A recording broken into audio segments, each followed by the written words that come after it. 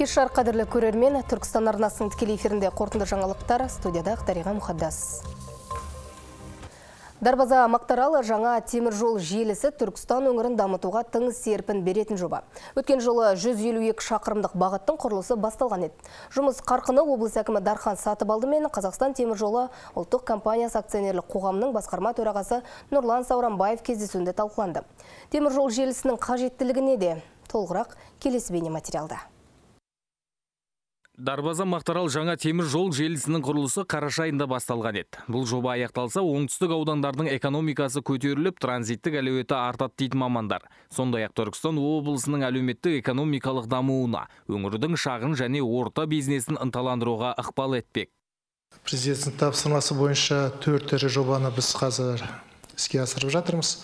Оның ішінде біреуі Дарбаза Мақтарал, біріншіден сізге рахмет айтайын деп едім. Бірінші күннен бастап сіз осыны қолдап бізге көмектесіп жатырсыз дорожный карта өте жақсы былай ұсыныс болып отыр. Сол дорожный картаға не қылсақ әр мәселені бөліп и прямо по пунктно бәрін соны шешсек. Мақтаарал мен жетісайға бөлек темір жол кіріп отырса қазақстан жағынан ол керемет негізгі экономикада бәрін де көтереді. Мультипликативтік эффекті керемет деп ойлаймын. Бүгінде өңірде жоба құрылысы қыза түскен. Темір жол желісін салу үшін 3400 адам жұмысқа тартылмақ. Ал нысан пайдалануға берілсе 500-ден астам адамның екі қолына бір күрек табылады. Ал темір жолды салу үшін жергілікті өндірушілердің материалдары пайдаланылады. Мемлекет басшымыздың 2023 жылы бірінші қыркүйектегі әділет Қазақстан экономикалық бағдар атты жолдауында дарбаза мақтарал жаңа, темір жол желісін салу бойынша нақты тапсырма берді бұл аталған жоба сарыағаш өткізу пунктінің жүктемесін түсіруге сондай ақ мақтаарал ауданының негізгі темір жол бағыттарымен байланыстыруға мүмкіндік беретін жоба. Жоба ұзындығы 152 шақырымды құрап отыр. Өңірдегі сарыағаш келес жетісай мақтаарал және шардара аудандарына байланыстырады. Айта кетейік, жоба екі кезеңде жүзеге асады. Бірінші кезеңде Сырдария станциясына шығатын Өзбекстанның мемлекеттік шекарасы Ердауыт Мақтарал желісін салу жоспарланған. Екінші кезеңде Жетісай Өзбекстанның мемлекеттік шекарасы тармағын пайдалануға беру көзделген. Бексұлтан Бекбатша Нұрдәулет Сыздық, Түркістан 24. Үш жыл бұрын құрылған Сауран ауданы жаңа ғимараттармен толығып жатыр. Ауданға сапармен барған облыс әкімі Дархан Сатыбалды Шорнақ ауылының әкімшілік іскерлік орталығындағы құрылыс нысандарын аралап, аумақтық органдар ғимаратының құрылыс жұмыстарымен танысты. Қазіргі таңда ғимараттың шатыры жабылған. Бұдан бөлек ішкі сылақ, электр, жылу мен кәріз жүйелерін жабдықтау, терезе орнату, сыртқы әрлеу жұмыстары аяқталған. Ішкі инженерлік желілері және ішкі әрлеу жұмыстары жүргізілуде. Дархан Амангелдіұлы жауаптыларға құрылыс сапасын қатаң қадағалап, кемшілікке жол бермеуді ескертті Сондай ақ аймақ басшысы Дархан Сатыбалды Сауран ауданындағы жиһаз өндіруші кәсіпорын иелерімен кездесті. Өндіріс орындарын аралап, жиһаз кластерін дамыту бойынша жауаптыларға нақты тапсырмалар берді. Жұмыс сапары барысында облыс әкімі Шорнақ елді мекеніндегі так мебель жиһаз цехының жұмысымен танысып, аймақтағы әлеуметтік маңызы бар нысандарды отандық жиһазбен жабдықтау қажеттігін айтты. Айта кетсек, аталған кәсіпорын жылына 12 мың дана жиһаз шығарады. Сауран ауданында қатты тұрмыстық қалдықтар өңделіп, одан шикізат шығару қолға алынып отыр. Аталған жобаны жүзеге асыру үшін арнайы 3 гектар жер бөлінген. Түркістан облысының әкімі Дархан Сатыбалды өндіріс орнын аралап, атқарылып жатқан жұмыстармен танысты. Кәсіпорын жылына 500 тонна қоқыс өңдеп, қатты тұрмыстық қалдықтар арқылы полиэтилен құбырларын шығарады. Өндіріс басшысы алдағы уақытта өндіріс орнын ұлғайтып, 2 миллиард теңгеге несие алу арқылы жобаны толық автоматтандырылған құрал жабдықтармен іске қосуды жоспарлап отыр. Облыс әкімі Дархан Сатыбалды аудан әкіміне және тиісті сала мамандарына тазалық жұмыстарын күшейтуді және ауыл аймақтарда жиналған қатты тұрмыстық қалдықтарды аталған орынға өткізу жөнінде тапсырма жүктеді.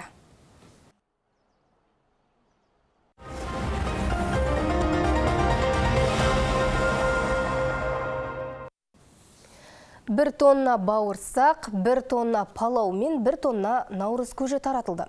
Бүгін Кентау қаласында өткен наурыз елесінде осымен қалды. Қаратаудың тәж атанған кенді шақарда ынтымақ алаңына 10 киіз үй тігілген. Мұнда ұлттық тағамдар көрмесі өтіп, жастар жағы түрлі ойындарда бақсынады. Толғырақ әріптесім Әлия Мұхтарғыз айтып берсін.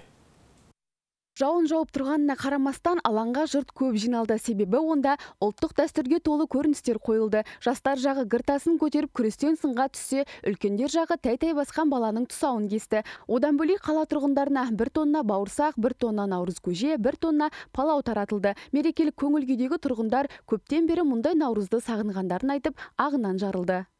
жақсы көңіл күйде немерелермен шықтым тойлап жатырмыз көріп жатырмыз бәрін жақсы Бәрі наурыз той құтты болсын бәрімізге. Жұғысты болсын ұлыстың ұлы күні құтты болсын. Жаңбырдың жауғанына ауа райының келеңсіздігіне қарамастан бүгін өте керемет болып тұр. Өздеріңіз байқағандай бүкіл халықтың көңілі көтеріңкі күйде. Алдында пандемия болды одан кейінгі сағымқаппыз действительно бұл өте керемет. Бұл өмірде болмаған нәрсе ғой бұл. Тарихи. Мынау енді он күн тойланған нәрсе. Бұл қазақтың қазақшылығына жатып жатыр да. Сондай ақ алаңда дәл осындай он шақты киіз үй тігілген. Бұлардың барлығы осы кентау қаласына қарасты түрлі мемлекеттік мекемелердің арнайы киіз үйлері өздеріңіз көріп тұрсыздар түрлі ас ұсынылып ә, киіз үй фестивалі яғни қай киіз үйдің ә, ұсынған тағамы оның ішіндегі жабдықтары ә, сәнді деген мақсатта осындай түрлі киіз үйлерде құрастырылған екен. Жалпы осы наурыз мейрамына қалай дайындалдыңыздар? Сол туралы айтып беріңізші. Бәріңізді құрметті кентаулықтар және қала тұрғындары бәріңізді келген наурыз мерекесімен құттықтаймын. Киіз үй тіккен мақсатымыз ол, ол бізде жаңағыдай қонақжайлығымыз ә, мерекелеріміз қонақтарымызды күтуіміз мына қазір мына біздің жайған дастарханымызда ә, ұлттық тағамдар да бар оны көріп отырсыздар. Ә, биылғы жаңа ә, наурыз мерекеміз бәрімізге құтты болсын ас мол болсын. Осы ас мол болсын. Ұлыстың ұлы күнінде ақ түйенің қарны жарылады дейді қазақ. Бүгінгі тойда осы сөз шындыққа айналып, ұлтымыздың тіпті бүгінде өзіміз ұмыта бастаған тағамдардан байқауда ұйымдастырылған. Бауырсақты қалағанша жеп, наурыз көжені сүйсіне ішкен жұрт қала әкімінің мейраммен құттықтауын ерекше ілтипатпен тыңдады. Шаһар басшысы содан соң алаңда арнайы тігілген киіз үйлердің әрқайсысына кіріп, жайылған дастарханнан дәм татты. қаратаудың тәжі кенді қала кентауымызда бүгін наурыз мерекесін тойлап отырмыз бұл енді наурыз мерекесі әрқашанда халқымызда жаңашылдықтың тазалықтың мынау ырыс пен ынтымақтың символы ретінде әрқашанда осындай тойланып келген. Сондықтан да мынау мереке әрбір қазақстандық үшін әрбір қала тұрғыны үшін мынау қадір қонып тек жақсылығымен келсін жыл болсын деп құттықтағым келеді Киіз үйлер жарысында сыртының өзі көздің жауын алатын Кентау гуманитарлық колледжі топ жарды, ал Қаратау қорығы мекемесі ең дәмді бауырсақ иесі атанды. Сондай ақ жұртшылық сүйсініп ішкен наурыз көжені әзірлеген Кентау трансформатор зауыты да бұл сайыста зор беделге ие болды. Қорыта айтқанда Кентау наурызы жұрт көпке дейін айта жүретін думанды тойға айналды. Алия Мұхтарқызы, Ержан Сейдазым, Түркістан 24. Күн мен түннің теңеліп, табиғаттың жаңа кейіпке енер шағы наурыз мейрамы биыл ерекше тойлануда. Әр ауыл, әр қала өз алдына бөлік киіз үй құрған. Осылайша ұлыстың ұлы күнінде ұлттық салт дәстүр жоғары деңгейде аталып өтуде. Сондай ұлы тойдың бірі Жетісайда өтті. Толығырақ тілшіміз тарқатсын. Жетісайлықтар ұлыстың ұлы күніне ерекше дайындалыпты. Мейрамға орай ұлттық киім киіп отбасы мүшелері толық жиналған. Ал бағдарлама қонақтары үшін қазақ батырларының кейпінде көрініс әуезі әуен ұсынылды.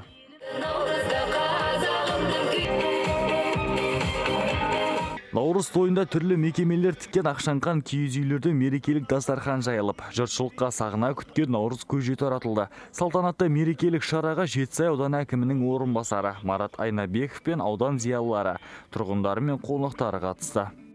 ұлыстың ұлы күні барша құрметті ағайындар құрметті жерлестер баршамызға құтты болсын әрбір шаңыраққа осы бір ұлыстың ұлы күні тек береке мен байлық алып келіп келіп жеткен жылымыз ерекше береке мен ықыласқа бөлейтін жыл болсын ұлыс оң болсын наурыз құтты болсын мереке мерекеге ұлассын.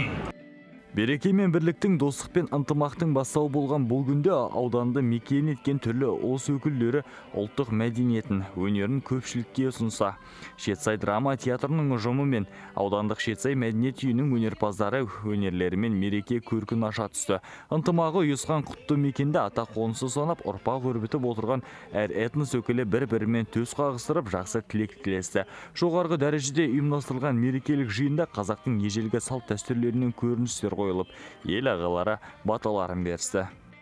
Наурыз мерекесінде еліміз қазақстан республикасы ел тыныштығы болсын. Мынау құда қаласа еккен жетісай қаласындағы егіндерімізді жақсылап жиып алайық құда қаласа. Бір тамаша күннің шуағы болып тұр.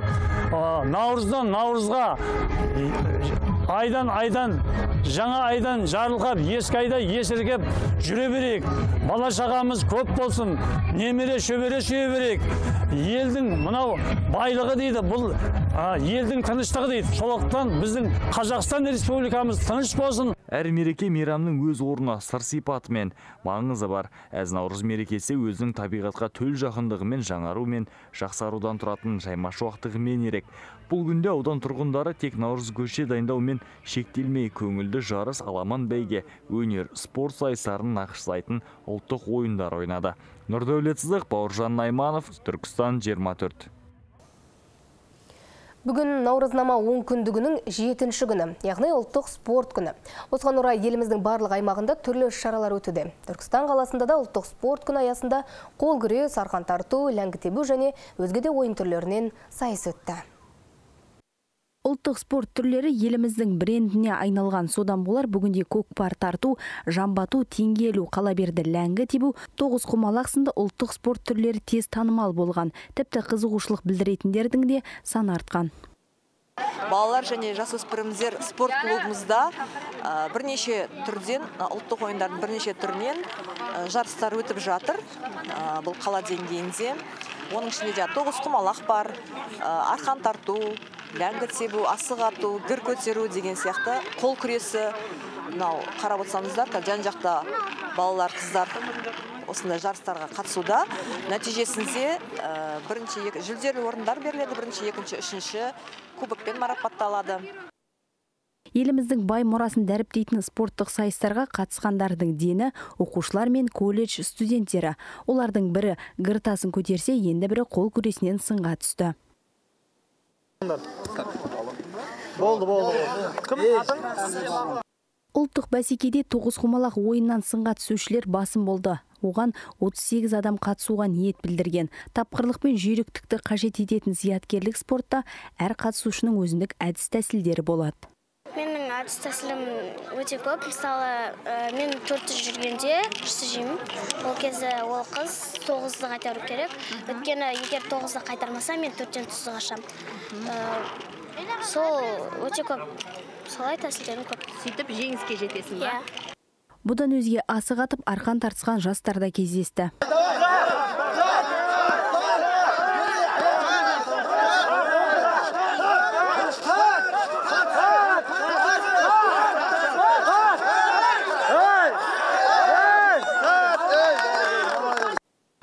Ұлттық спорт тек сайыс не жарыс емес сондай ақ ол ұлттық құндылықтарды ұлықтайтын ерекше рух осындай тағылымы мол шаралар еліміздің барлық аудан елді мекендерінде өткізілді шынар әділханқызы досжан аяған түркістан 24 Текеметті қалай басу керегін білесіз бе?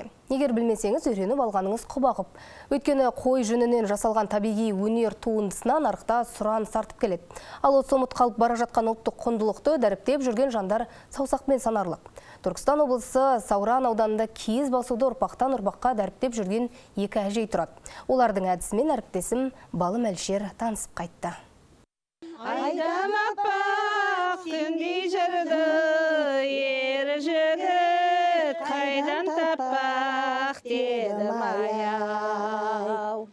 бір басқанда екі-үш текемет шығаруға болады. Бұл үшін кемінде екі күніңізді жұмсайсыз. Ал құралдарың сай болып тұрса 4-5 сағаттық жұмыс істейді әжелер. Саракүл мен Несібел әжей осы істің нағыз маманы. Олар 5 жасынан ақ кілем тоқып киіз басып келеді. Тіпті бүгінде бірлесіп жасаған туындының санынан жаңыламыз деп күлді. Бірінші киіз басу үшін қойларды дарияға апарып шомылдырып аламыз. Жүн таза болу үшін. Содан кейін әкеліп қырқып мынандай қылып сабап шегелтектер болса жаңа тениктер болса аламыз. Осындай қылып сабап жаңағы қоспа қоспа қылып алып ана жаққа апарып шабақтаймыз кигізді. Шабақтап болғаннан кейін жаңа түр салуға шығамыз. Түр салып болғаннан кейін су құйып басамыз. Соңғы кезде кілем мен алашадан бөлек текеметке де сұраныс арта бастапты. Әсіресе ұзатылатын қыз жасауына қосатындар көбейіпті. Мұның сыз өткізбейтін сиқыры мен табиғи өнімнен жасалған өнер туындысы екенін ескерсек, жастар арасында трендке айналуы қуантарлық жайт. Енді бұрын барлық қыздарымызға, бауырларымызға бәріне осыны қылғанбыз. Енді қазір кейінгі уақытта онша бәрі кілем не деп кетіп еді қазір енді қайтадан осы киіз басып беріңіз кілем тоқып беріңіз деп жатыр енді құда қаласа осы сол қыздарымызға жастарымызға үйретеміз біліңдер үйреніңдер деп айтып жатырмыз.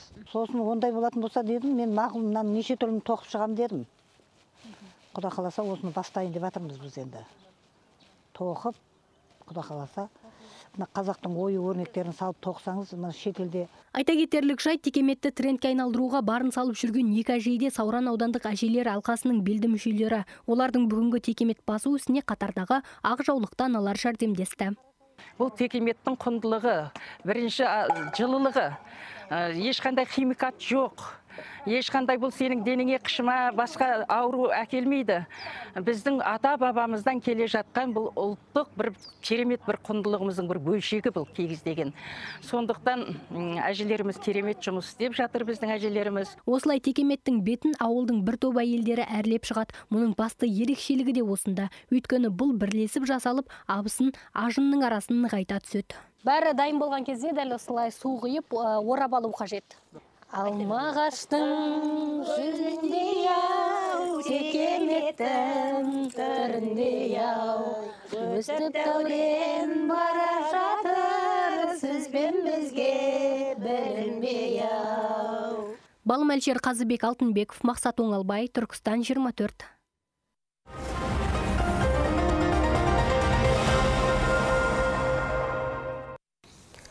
Олимпиадада топ жарған қазақ балуаны 27 жасында ақшта белгісіз жағдайда көз жұмды.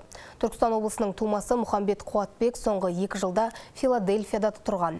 Ол еркін күрестен 2014 жылы жасөспірімдер арасындағы екінші жазға Олимпиадада ойындарының жеңімпазы атанған еді. Жасөспірімдер арасындағы Азия чемпионы жасөспірімдер арасындағы әлем чемпионатының қола жүлдесіне қол жеткізген. Әзірге балуанның неден көз жұмғаны белгісіз. Қазіргі таңда оның денесін елге әкелу мәселесімен елшілік айналысып жатыр. Елімізде букмекерлік кеңселердің жарнамасына тыйым салынады. Сондай қарызы бар азаматтар енді лотерея ойнай алмау мүмкін. Заңнаманы бұзған ойын бизнесін ұйымдастырушылар үшін әкімшілік және қылмыстық жауапкершілік енгізу сияқты басқа да маңызды нормалар қарастырылған. Мәжіліс ойын бизнесі лотерея қызметі мәселелері бойынша өзгерістер мен толықтырулар енгізу туралы заң жобасын жұмысқа алды.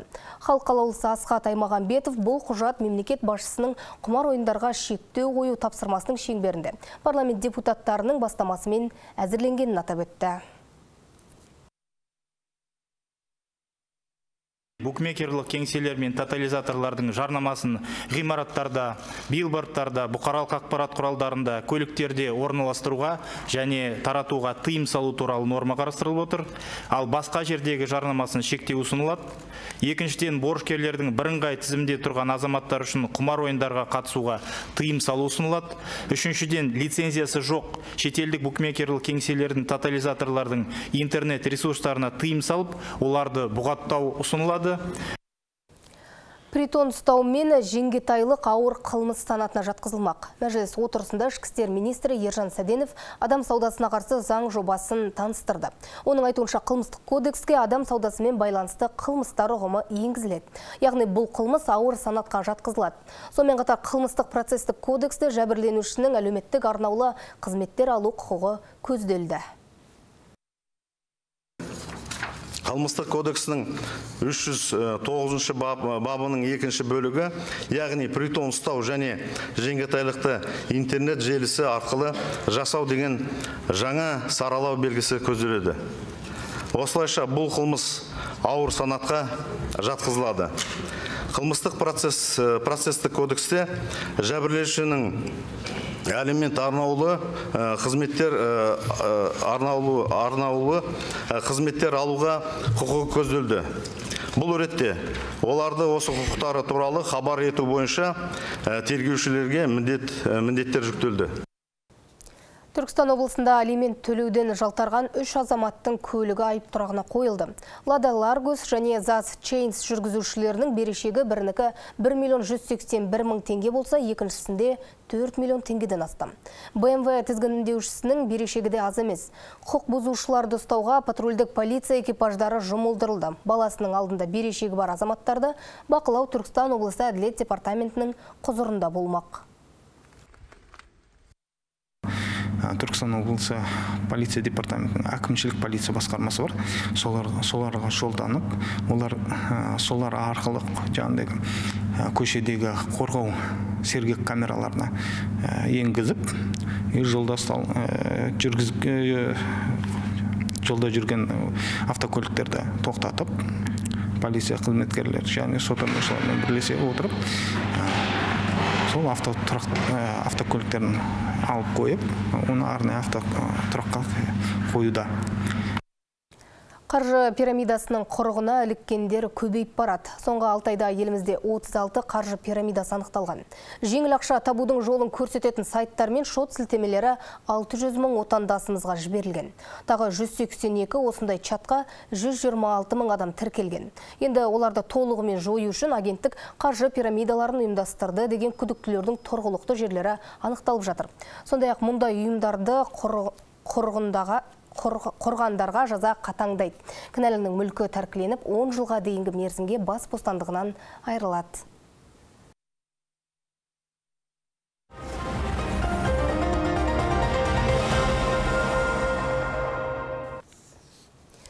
Түркістанның Тұран волейбол командасы қыздар арасында ел чемпион атанды. Бұл клуб тарихындағы үздік нәтижелердің бірі. Жартылай финал ойындарында түркістандық волейболшылар Петропавлдың қуаныш командасын жеңіп, сенсациялық нәтиже тіркеген еді. Ал финал қалай өтті? Ол туралы толығырақ тілші репортажынан көрейік.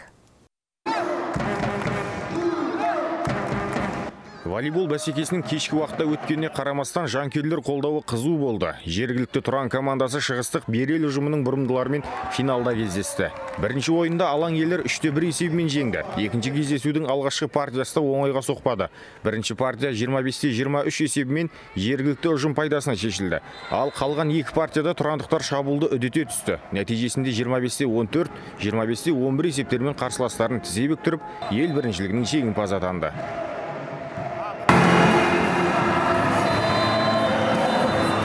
Ал команда капитаны майра колдина болса шешуші ойында барымызды салдық дейді. Бүгін ойнап жатқан күніміз жетінші күн. Шаршадық. Екі команда да шаршады деп ойлаймын. Тұран командасы енді біз жалпы сол жеті күндікке дайындық өткіздік. Қыздар бар күшін салды деп енді өзіңіз көріп тұрсыз біз чемпионбыз. Түркістан киелі жерін түркістан халқын мен сонымен құттықтаймын. Тұран волейбол командасының құрылғаны да көп бола қойған жоқ. Сондықтан ұжым маусым басында төрттікке енсекте тәуір нәтиже болар еді деп ойлапты. Бас бапкер асқар шалқыбеков команданың мықты ойыншыларын сақтап қалуға тырысамыз дейді. Жоспарлар мына команданы сақтап қалу ойыншыларды. Основной костяк иә.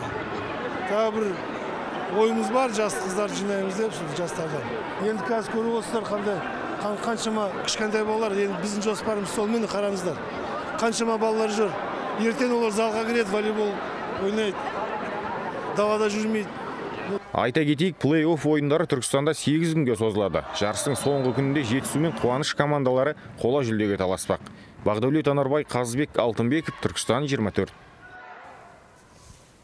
Түркістанда бүлдіршіндер арасында шахматтың рапид түрінен турнир өтті. Жарыстың басты ұйымдастырушысы КМФ микроқаржылық ұйымы және КМФ демеу қоры. Бұл ұйымның шахматтан өткізіп жатқан екінші турнирі. Жеңімпаздарға қандай сыйлықтар табысталды? Ол туралы толығырақ тілшіміз тарқатып айтсын. Алатақта үстіндегі ақыл ой сайысы әз наурызға тұспа тұс келді. Жарысқа Түркістан облысынан бөлек Қызылорда облысы мен Шымкент қаласынан жүзден аса бала келген. Олар 6 жас пен 14 жас аралығындағы балалар. Біз екінші жыл қатарынан десек болады сертификаттармен марапаттап жатырмыз. Орада бірінші орынға алған бізде турнирде негізі возрастной категория бойынша және қыздар және ұлдар болып бөлінеді. Жалпы алты орын болады. Яғни үш ұлдар үш қыздар. Жас ерекшелігіне қарай алты сегіз жас тоғыз жастан он екі жасқа дейін он он екі он төрт жас аралығындағы оқушыларға турнирде бағын сынағандардың бірі мейірхан атахан. Тоғыз жастағы ұлын қолдауға оның анасы да келіпті. Мейірханның бұл спортпен айналысып жатқанына небәрі бір жыл болған. Соған қарамастан кішкентай шахматшы бірінші орынды иеленді. Қарсыластар қиын болды. Кейбірлері оңай болды. Бұрында облысқа қатысқам сода үздік ойыншы алғам. Шахмат бәсекесінің жеңімпаздары бағалы сыйлықтармен марапатталды. Бірінші орын иегерлеріне 30 мыңның сертификат табысталды. Ал екінші орын алғандар 25 мың. Үшінші орыннан көрінгендер 20 мың теңгені қанжығалады. Бағдәулет анарбай досжан аяған түркістан 24 осымен қазірге келіп жеткен ақпараттар легі тәмам. Жаңалық күтіңіздер.